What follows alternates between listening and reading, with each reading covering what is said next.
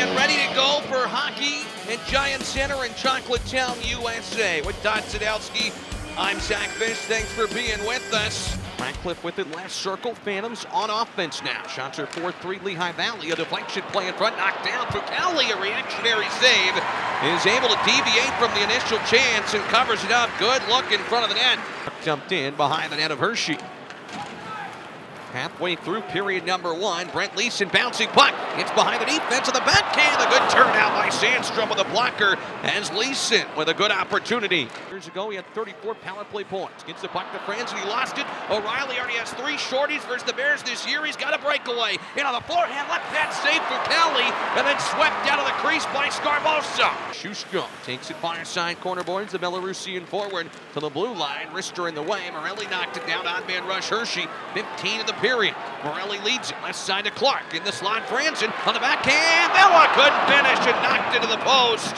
And the net ajar with 6.3 to play. Check that 8.3 to play in the first. Native of Switzerland in tight with Morelli. Looking to dig. A four-man rugby scrum in the corner. Thanks for trying to come up with it. Shot around the boards. Far side, Alexeyev. Left-handed shooting defenseman will leave it. Morelli Right wing picks up the puck. Good patience with it. Snaps a wrister. Score! Morelli through traffic. Might have been tipped on the way. 3.08 left in the second. The Bears grab the lead. It's 1 0 Hershey. Right. Sgarbossa with it. He'll pick it up for the Bears and double back. Mike Sgarbossa down the right wing in the offensive zone. Feeds to the middle to Gersich. Just save Sandstrom. A good play by Sgarbossa. Third. 1-0 Hershey leading. Wilson down the right wing. Leaves for Willman, powering to the net in a collision.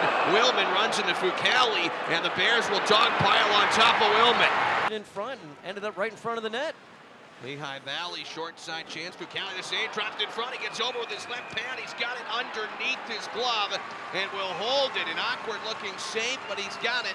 Through traffic and give us all a little bit of a heart attack. Uh, tiptoeing through some tulips there. That was there goes Sandstrom, extra attacker. Bears will block it. Sgarbossa shoots to the empty net. Bullseye! From his own zone, Mike Sgarbossa puts it in with a buck 34 to go. It's 2 nothing in Chocolate Town. A mere few seconds after Sandstrom. Sweaters, they will mob their goaltender. Three shutouts in a row.